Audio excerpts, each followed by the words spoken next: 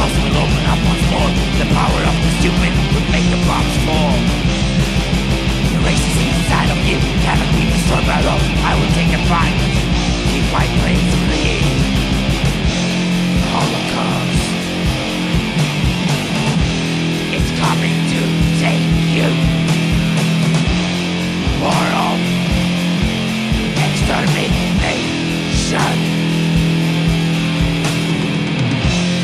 killing of the human race.